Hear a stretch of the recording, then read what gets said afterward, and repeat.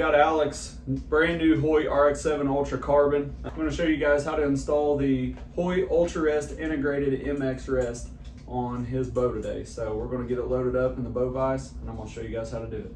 All right guys, before you do your rest, you want to make sure you're on the right draw length. So you need to find out what your draw length is and uh, you can go here. I just typed in Hoyt RX-7 Ultra draw length chart and it'll take you right to their website and then you're going to go here carbon rx7 ultra and it gives you a pdf so you're going to click that pdf and it's going to pull up your draw mod right here. So Alec is a 30 inch draw length so luckily they come shipped. It says right here shipped module position and then you go up here and you're going to go down uh, k through a and it comes shipped on e which e is your 30 inch draw length. So you're gonna go through, figure out what letter you are, what length you are, and set your uh, draw mods up to that. You can go and start recording. I am. All right, okay. All right, guys. I'm gonna show you everything that comes in the box, show you everything that's with the rest. So you got your instructions here. Hopefully we don't need those. I've done one before. But uh, you got your, your tool bag, you've got your uh, little, we call them a football, and your uh, the, the football is the piece that you actually attach to your string for your, uh, that way your rest can come up. I mean, it sends you, they come with tools. Let's see, we don't need that. Let's go ahead and slide this out. Get the rest out of here. Lay that down. There's your rest and the cutout foam. Pretty sweet packaging, really. Yeah, yeah, it's nice. It's simple. You know, you open the top, there's Mm -hmm. there's all your stuff, and then it comes with this. So that's it. That's all it takes to unbox it. Nothing special, but that's your rest. We're gonna take it.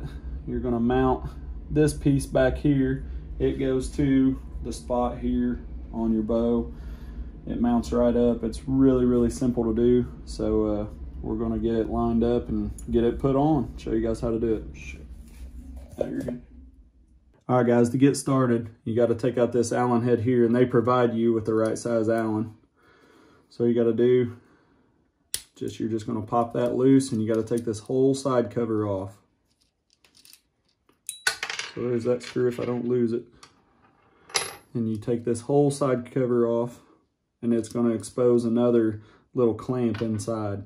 So right here where this arrow is, where this little bitty Allen head is, where that rotates, you're going to open that up and that's going to go straight to the bow. So we're going to show you how to do that part. All right, so the next step, you've got this little Allen screw here. That's going to allow this here to open up and go on this rail right here in the back. Go ahead and loosen this up.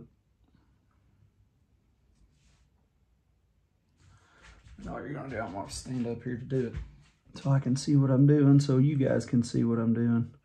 But all you're going to do, there's a line here on your bow that's dead center. So you're going to line up this arrow. I'm to have to open this up a little more. You're going to line up that arrow with the arrow on your rest. It's hard to tell if I got it lined up right from this side, but I'm doing the best I can so I can show you guys how to do this. Look like it's lined up, Alec? Right in there? Yeah, it looks really good right there. Okay, so I'm gonna tighten this up.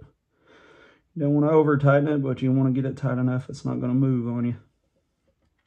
That's the nice things about these integrated rests is everything lines up perfect for you. So there's that. Now all we gotta do is put the side cover back on, which is what we took off originally in the first place, and that sandwiches the whole rest to the bow. So you can tell I just slid that in there.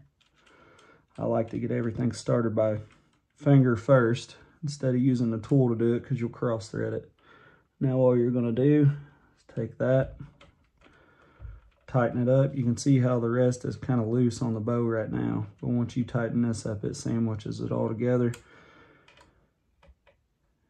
And you got a rock hard installation. So now you can tell nothing moves.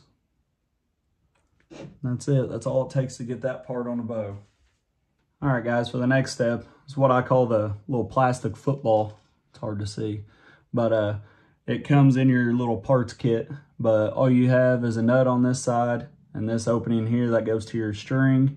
And then you got this side, you've got your screw, and that's what's gonna hold it all together.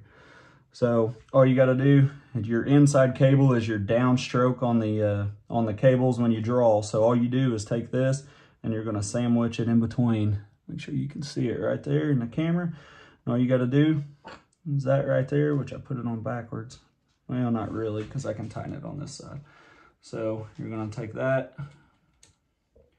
I like to get them a little snug because the next step I'll show you is how you set your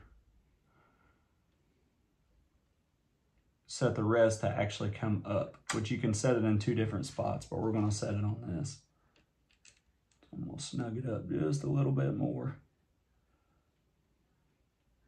Okay. All right, guys, so the next step is we're gonna get the tilt of the rest set. So in the last like inch of your draw, that's when you want your rest to come up fully.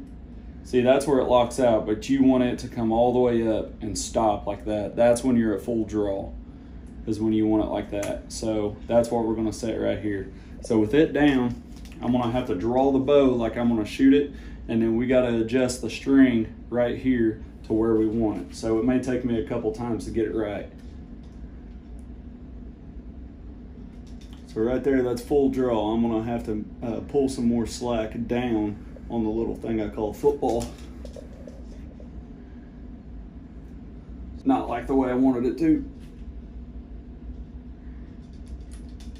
So right there, that's pretty good. It's, uh, Alec, if you want to swing around the other side, you'll be able to see we're pretty much at, we're at full draw and your rest is all the way up right where you want it to be. All right, guys, so we did a little more tuning. We, at the last like inch of your draw, you want this rest to kick up fully like that. So in the last part of the video, wasn't fully kicking up. So we did a little more tuning on it. And uh, I'm gonna show you how when I draw it back, how that kicks all the way up. So here I go, I'm gonna go ahead and draw about the last inch of my draw when I settle back. Right there, it kicks all the way, way up. up. So I've got it completely drew back and it's ready to go. So when I, if I was to let go with an arrow in it, it's ready to fly. All right, guys, as you can tell, that's a pretty pretty simple installation. Uh, me and Alec, uh, we're gonna install his peep sight and his sight on there and try to go out and get a baseline of where, where it's shooting at, what we need to adjust and all that kind of stuff. So I'll give you a quick little go around of the, uh, of the rest. It's kind of hard to see with my light on in the background, but You've got it right there. You've got your up and down adjustment. Let me get this to focus. Alec. Come on, focus. But anyways, you got your up and down adjustment here, which is micro tuning right there. Uh, you're gonna go left for up and right for down. And then you got the same adjustment here on, well, let me get it focused get it moved in here right. You've got the same adjustment here, which is micro adjustable. Uh, you loosen this up here, this Allen screw, and then on the front of the rest right here, you're gonna go, I believe, left. You're gonna turn counterclockwise for left and clockwise for right. So that's all we got for this video here. Pretty simple installation. Hit up Perfect 10 Outdoors and uh, get your setup he's got everything you need. So just go there and get